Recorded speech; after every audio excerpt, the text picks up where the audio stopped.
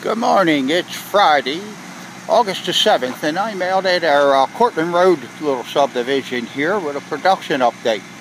Uh, directly in front of you, you can see the framing is going on on lot number 4.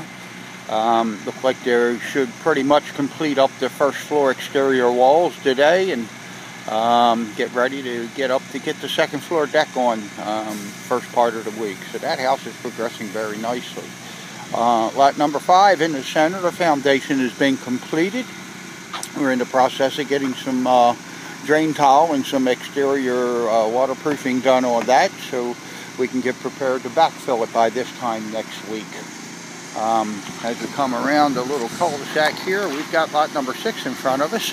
Uh, lot number six has the uh, mechanicals are pretty much finished up in things. The electrician's in there today tidying up stuff, doing some low voltage work. Um, that house will get into drywall next week. So um, things have progressed on very nicely out here at Cortland Court.